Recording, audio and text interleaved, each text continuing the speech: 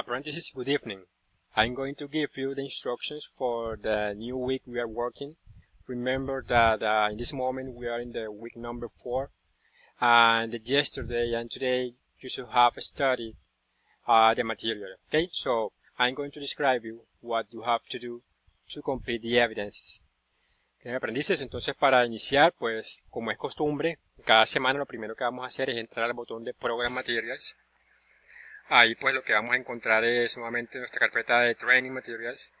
Y pues al dar clic acá vamos a buscar la carpeta que dice Week 4, semana 4.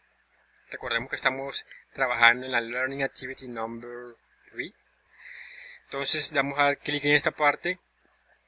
Esperamos a que nos cargue la ventana de siempre. Descargamos el material, eh, descargamos la parte del PDF y damos clic para empezar la parte de la multimedia. Okay.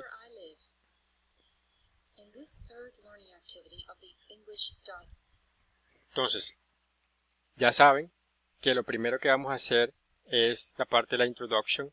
Para esta semana tenemos, eh, digamos que bastantes temas para aprender. Tenemos parts of the house and furniture, places in the community, giving directions,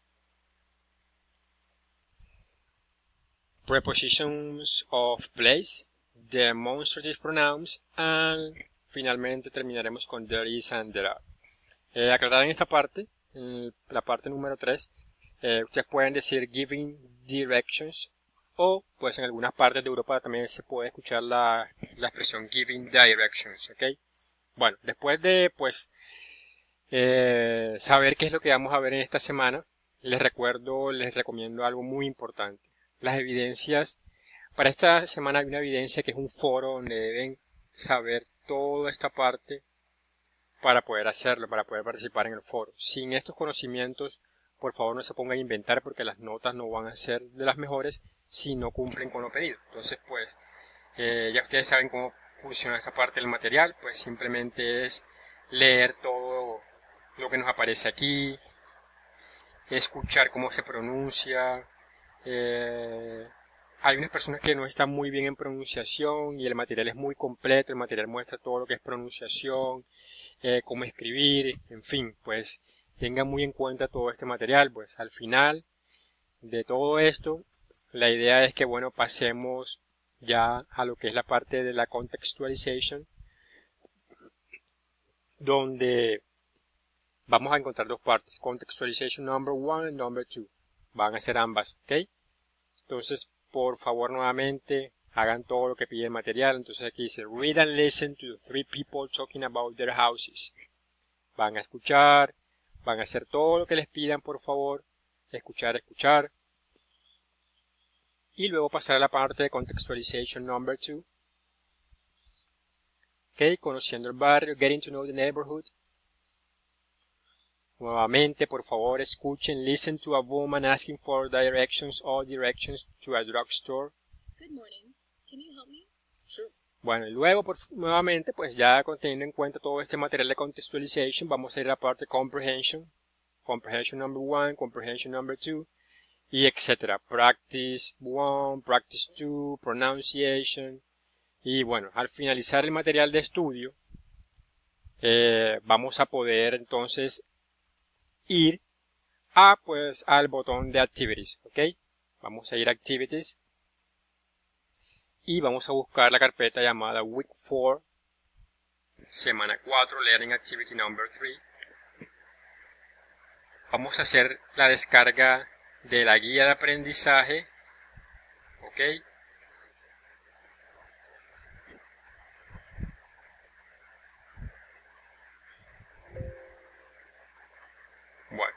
Entonces, una vez descarguemos, lo primero que aparece acá es la guía de aprendizaje, Learning Guide Number 3. Esta guía de aprendizaje la vamos a tener en cuenta solo para lo siguiente. Vamos a leer la parte de la introduction, pero no es muy, muy importante para, nuestro, para lo que vamos a hacer. Por favor, vayan y busquen donde dice actividades de, de contextualización identificación, esta parte, donde dice Evidence Forum My Idea Home, porque aquí están las instrucciones para que ustedes puedan participar en el foro. ¿En qué consiste el foro? Que es lo primero que vamos a participar en esta semana. Entonces miren, a través de esta evidencia se evalúa el uso de there is there are, y el vocabulario relacionado con las partes de una casa y sus muebles. Para participar en este foro tenga en cuenta las siguientes indicaciones. Realizar una descripción de su casa ideal. No quiere decir que sea su casa donde ustedes, viven en el momento, sino es su casa ideal.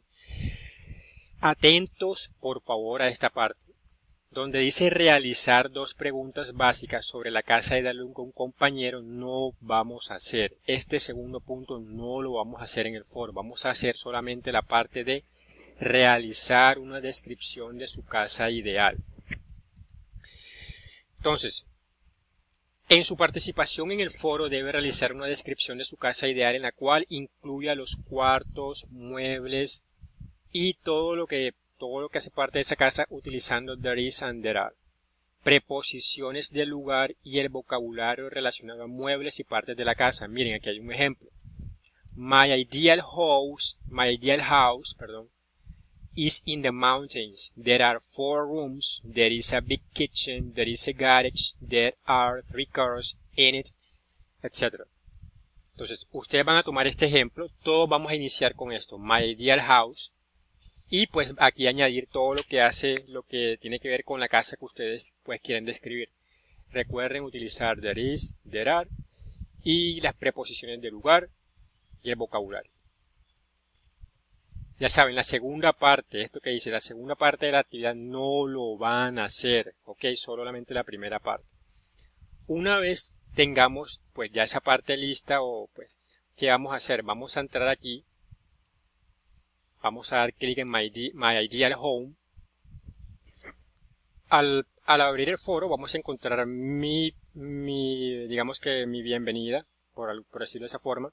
Vamos a entrar cómo vamos a entrar, vamos a dar clic en esta parte, vamos a leer lo que les di, las instrucciones que les dejo en, este espacio y para dejar su participación van a dar clic en responder. Todos tienen que hacer lo mismo, clic en responder, ¿ok? Listo. Una vez hagamos la participación en el foro My Ideal Home, ¿ok? Vamos a volver a nuestro botón de Activities donde estábamos ahorita hace un momento, en la parte de week number 4, y vamos a pasar a la actividad interactiva. Entonces, la primera actividad es la My Ideal Home, la siguiente actividad es My City, la actividad interactiva, vamos a dar clic y vamos a esperar a que cargue. Ok, cuando carga la nueva ventana, pues vamos a maximizarla. Vamos a leer esta parte donde está en la, como una bienvenida. Y luego de leer esto, que es muy importante, vamos a dar clic en Next. Esta actividad es muy, digamos que es muy importante porque vamos, va a ayudar a, ubicarnos, a, a, poder dar direcciones. Entonces, miren lo que tenemos que hacer. Nicole needs to go to some places and get documents for her university. Entonces, después de leer esto, les voy a explicar, pues, más o menos cómo es lo que tienen que hacer. Vamos a dar clic en Next. Y miren lo que tienen que hacer. Tenemos varias oportunidades tenemos que encontrar el lugar que nos piden aquí. Si ven esto es un mapa donde tenemos varias calles. Tenemos, por ejemplo, Palm Street, tenemos Tower Street, tenemos Clum Avenue, tenemos Smith Street, Second Street. Y aquí nos dicen, this place is on the corner of Palm and Tower Streets. Primero vamos a identificar cuál es Palm Street. Tenemos Palm Street y tenemos Tower Streets. Tower Streets dice, this place is on the corner. Entonces, ¿qué lugar está en esas dos calles, en esa esquina? Después de leer esto, vamos a dar clic acá y vamos a señalar el lugar que nosotros creamos. Por ejemplo, si nosotros creemos que ese lugar es este, vamos a dar clic aquí y si está bien, pues el personaje nos va a dar, nos va a decir que tenemos que es perfect. Ok, damos clic en next. Siguiente, por ejemplo, si nos dicen que this place is on Tower Street behind the school, Tower Street buscamos nosotros si, que por ejemplo, si yo creo que es este y me llego a equivocar, me va a salir esto. Entonces, recuerden que tienen que obtener cinco buenas, cinco preguntas buenas. Cuando tengan todas las preguntas buenas, por favor, tomen un pantallazo y lo guardan por si acaso las respuestas no pasan automáticamente a su libro de notas. Listo. esta es la parte muy interesante, muy importante para que se sepan ubicar. Y por último, la última actividad de la semana, la última actividad de la semana se llama The Perfect Neighborhood for Each Person. Okay, vamos a darle download aquí, en esta parte. Vamos a esperar que se abra el archivo. Ok, entonces esperemos para descargarlo. Y para poder participar necesitamos tener el archivo de Word. Entonces el archivo es este. ¿Qué tenemos que hacer en esta, digamos que en esta actividad?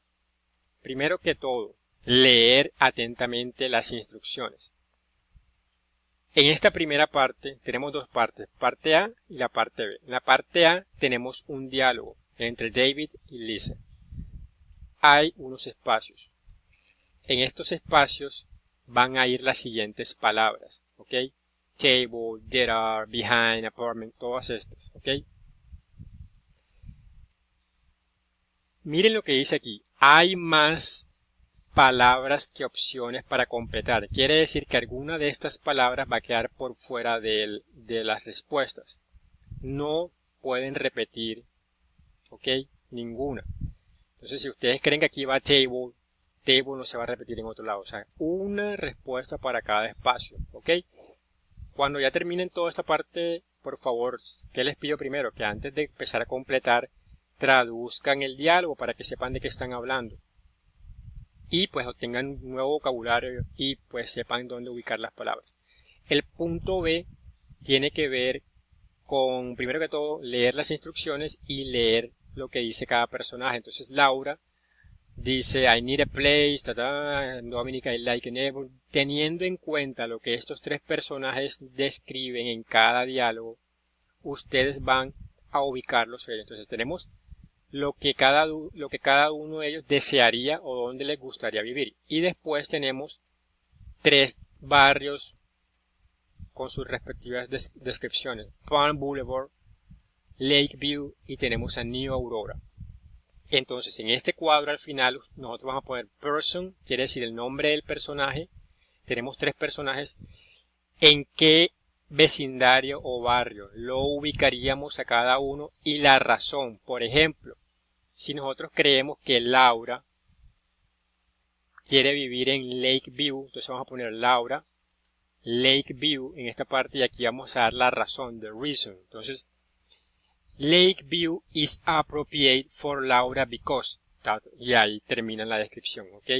Tienen que utilizar there is, tienen que utilizar pues todo el vocabulario visto. Cuando completen el documento, vamos a dar clic acá y vamos a adjuntarlo como hemos hecho con todos los demás. Entonces le dan clic aquí en adjuntar, examinar mi equipo, adjuntan el archivo, le dan enviar y listo. Entonces, para esta semana tenemos tres actividades muy sencillas. Tenemos que participar en un foro. Entonces les recuerdo nuevamente. Participación en foro. Eh, actividad interactiva My City.